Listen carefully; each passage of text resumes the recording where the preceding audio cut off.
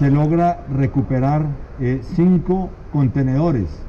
Quizá es el operativo más grande en vías nacionales que se lleva a cabo en la historia, donde se recuperan estos elementos, se capturan 10 eh, ciudadanos, son inmovilizados 5 tractocamiones, un vehículo particular.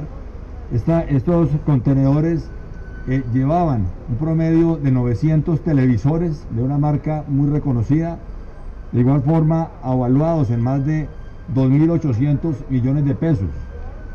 Estas personas ya fueron debidamente judicializadas por el delito de concierto para delinquir, de igual manera receptación y hurto calificado.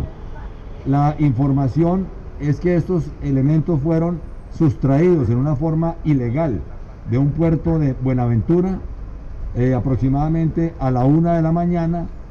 Inmediatamente se recepciona la información, se difunde a todas nuestras unidades policiales con el plan candado articulado con nuestra policía, eh, tanto de la metropolitana de Cali como del departamento del Valle, se logran ubicar en diferentes carreteras. Quiere decir que los tractocamiones no iban uno atrás de otro, sino todos habían tomado diferentes rutas, diferentes eh, sentidos con el fin de llegar tanto a la ciudad de Bogotá como a la ciudad de Cali.